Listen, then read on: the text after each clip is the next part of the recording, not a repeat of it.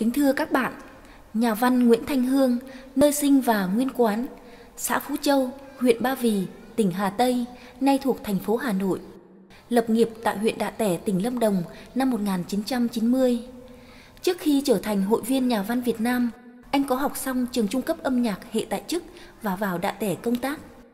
Năm 1990, anh là phóng viên đài truyền thanh truyền hình Đạ Tẻ thuộc đài phát thanh truyền hình tỉnh Lâm Đồng. Anh đã sáng tác nhiều ca khúc đáng chú ý và đã đạt được hai giải thưởng tại Hội thi sáng tác ca khúc của Trung ương năm 1983, năm 1984. Huy chương bạc giọng hát hay các nhà văn Việt Nam năm 2000. Hôm nay, dù bận rộn công việc viết văn, anh vẫn dành thời gian hát một ca khúc đạt giải năm 1984, đó là ca khúc Bên cầu Thăng Long tôi hát. Qua làn sóng, nhà văn Nguyễn Thanh Hương gửi lời cảm ơn quý vị trong địa phương tỉnh Lâm Đồng đã từng nghe anh hát tại các hội diễn văn nghệ quần chúng ở địa phương từ nhiều năm qua. Hát bài này, nhà văn đã gần 70 tuổi, quý vị hãy bỏ qua những sai sót khi trình bày.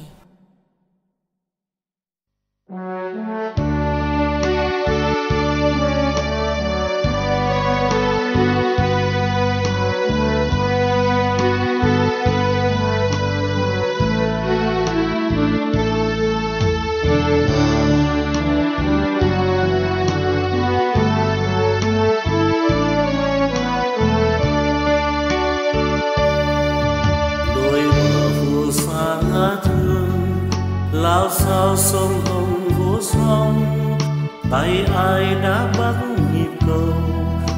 Đôi bờ sông quê ta như ra hàng rồng, vươn tới những chân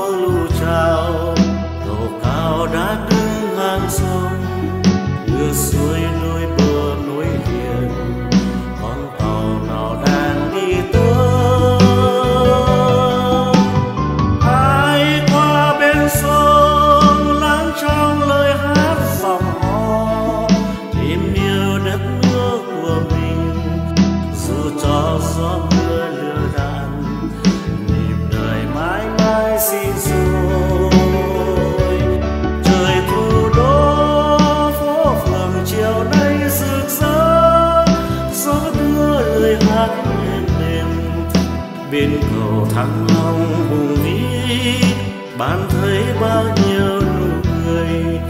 Bạn sẽ thêm yêu cuộc đời, bạn sẽ thêm yêu hà nội. Trái tim thôi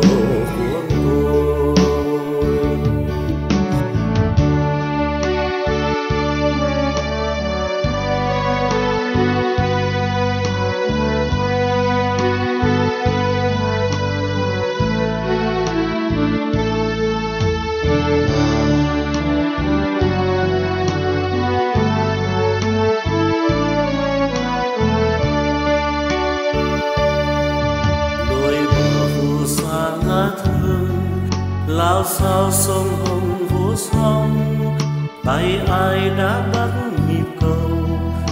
Đôi bờ sông quê ta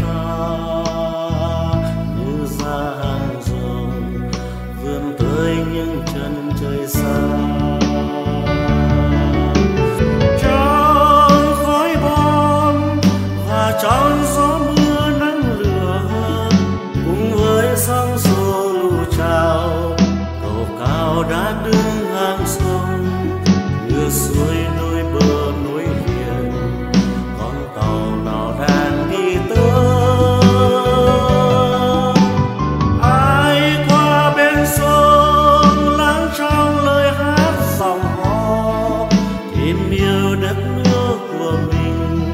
Dù cho gió mưa lừa đạn nhịp đời mãi mãi xin rồi.